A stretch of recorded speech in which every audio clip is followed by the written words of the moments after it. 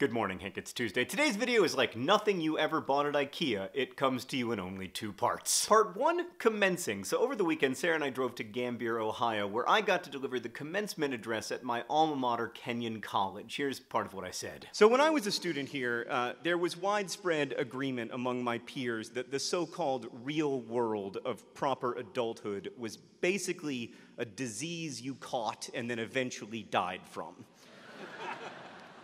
Like adulthood with its mortgages and spreadsheets and lawn maintenance seemed to be a thing to be dreaded and resisted until finally it overtook you, like a zombie plague.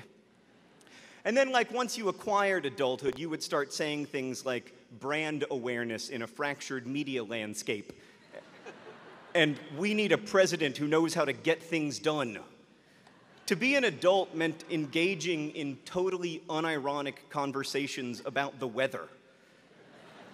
I remember once when I was at Kenyon, my grandmother called me to tell me that she was watching the Weather Channel and that it looked like it was raining in Ohio. I explained to her that I was reading Ulysses, that I wasn't even in Gambier, but in Dublin, Ireland in 1904, and that history was a nightmare from which Dedalus was trying to awake, and that nothing literally nothing mattered less than the current weather. And then after a moment, she asked, Well, is it raining or isn't it? to be an adult was to be a river rock blasted by an endless torrent of mundane terrors, from resume formatting to electricity bills that would inevitably smooth all my hard edges until I looked and felt just like everything else. Now, this is the part of the commencement address where I'm supposed to tell you that, in fact, adulthood isn't so bad and blah, blah, blah. But no, no, it is so bad.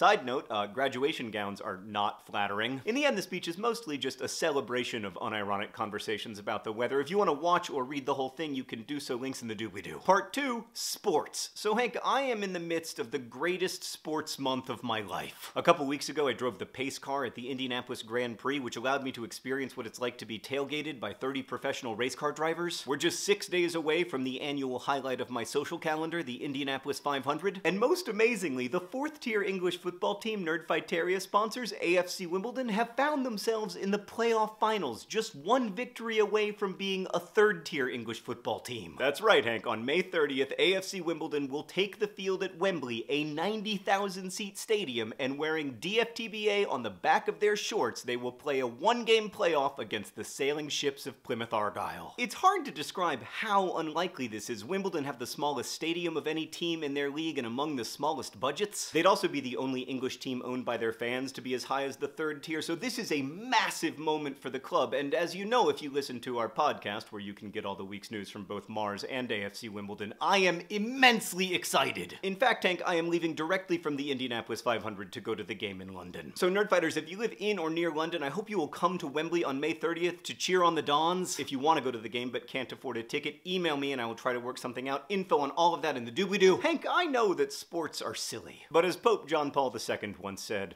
Of all the unimportant things, football is the most important. Hank, I'll see you on Friday.